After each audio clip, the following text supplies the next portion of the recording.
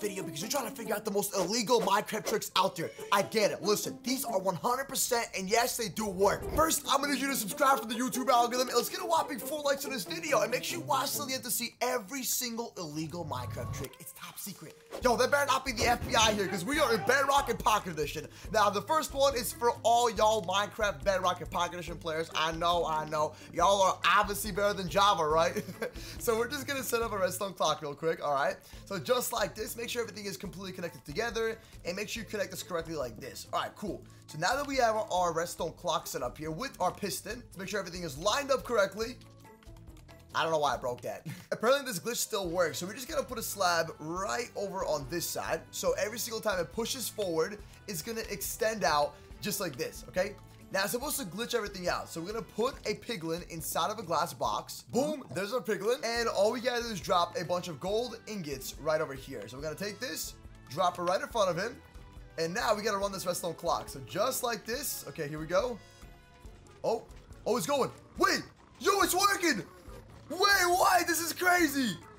Are you serious? Is it that easy to speedrun in Bedrock Edition? How is the block changing? It looks like it's changing into a quartz block. Bro, that was ridiculous. That has to be one of the quickest ways to trade with piglins. Yo, Dream, I'm coming for your speed runs, bro. Did you see that? You can't top that. we're gonna try one more time. This time we're gonna stack up even more gold. Let's get a bunch of nuggets. I need tons and tons. Okay, here we go. Drop them all on top of the slab. It has to be on top of the slab.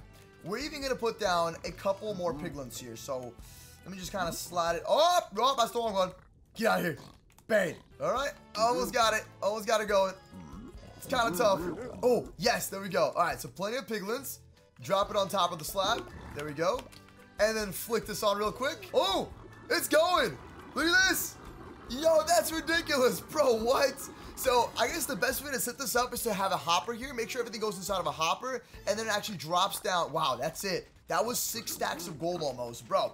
So all we need is a hopper over here and then connect this hopper to a chest. So just set up like a double-sided chest here, okay? And then make sure everything goes inside the chest.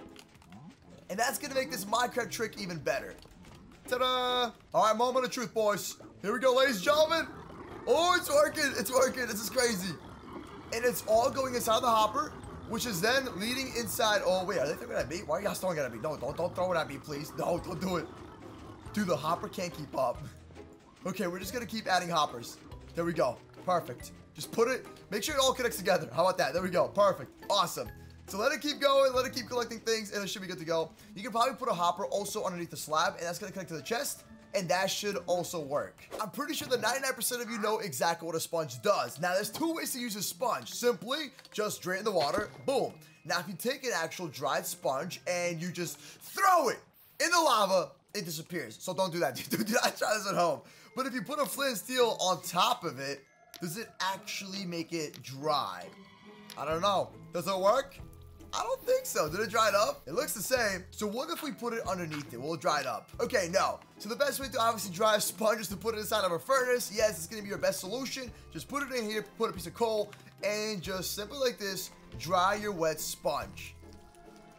Ta-da! If we go inside of the nether really quickly and we bring our wet sponges with us, just simply place down your wet sponge on the floor and it will instantly dry. Yo, how cool is this? So if you're gonna be farming the, you know, ocean monument and all that kind of fancy things, boom, instantly can dry your sponges, collect them, and be on the go. The easiest way to make an infinite water source. Is dig out four blocks, put a block over here, put the water right on top, and then we just need a piece of kelp. Make sure you put a kelp on the right side and the left side, and then remove the water you placed down, and it should be an infinite water source. I bet you didn't know that. Now, the third Minecraft trick is how to get a haircut in Minecraft. Nah, I'm just kidding. Yo, what y'all think about my fresh cut? I like your cut, G and the brand new skin and the brand new profile pic and the brand new banner. I'm pretty sure y'all seen it. It's pretty fun, you gotta admit.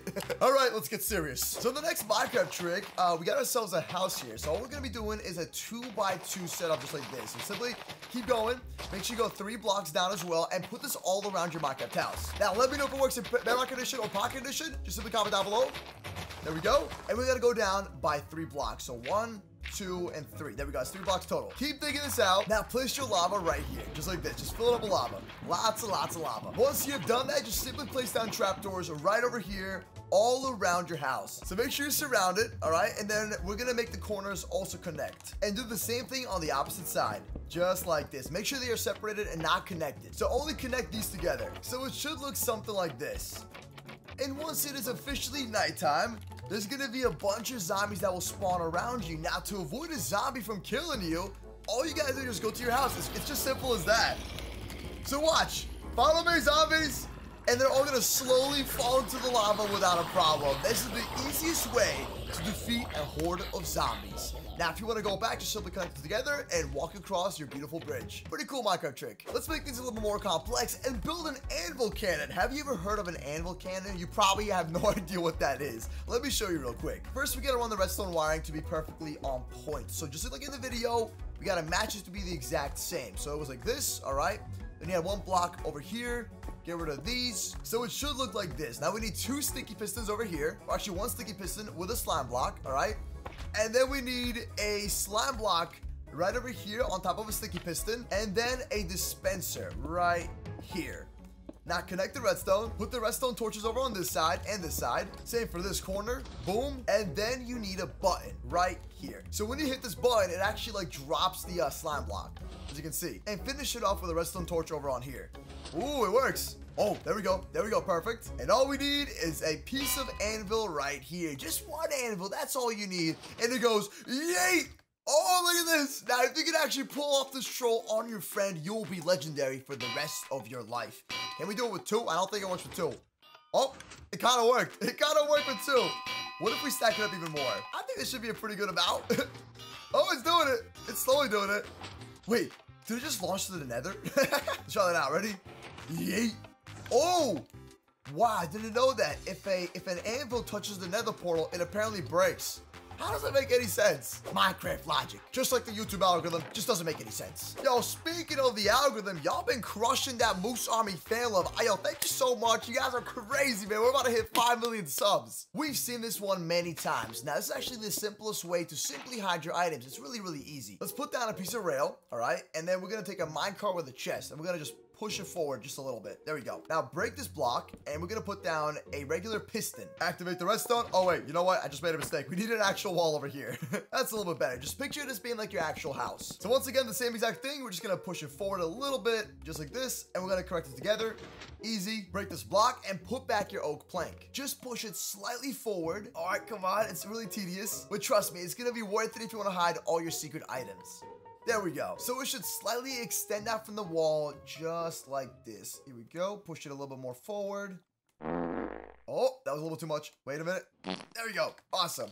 All you gotta do is just simply conceal it with a piston. Boom. And push it down. There we go. Now, as you can see, it's gonna turn completely black here, but you guys should put a cauldron right here. Just push the cauldron forward, or you can actually put the cauldron from the top just like this. This also works as well. And then we can put the oak planks right on top. Put your water back down here. There we go. And you should be able to access your chest right over here. So that right there is a secret diamond stash. Put all your diamonds in here and you're gonna be loaded for the rest of your life. And you don't have to worry about your friends stealing your diamonds. They'll never be able to find it. All we gotta do is just kind of make it look a little bit better. Just put like a crafting table. That's it. There you go. Now you can't even see it. Ta-da! Did you know they can actually dye your horse armor? Yeah, it's exactly what it sounds like. Now, we just need a water bucket. Just simply dip all your dyes inside the water and it'll change the color of the water. And you just gotta put your actual horse armor in there. Now, in uh, Java Edition, we just gotta grab a crafting table and just simply do this. There we go. It's just simple as that. How easy is this, bro? And if we tame a horse and we put the actual armor on him, can you can you please be my friend? I want I want you to be my best friend. I'm gonna call you Betsy the horse.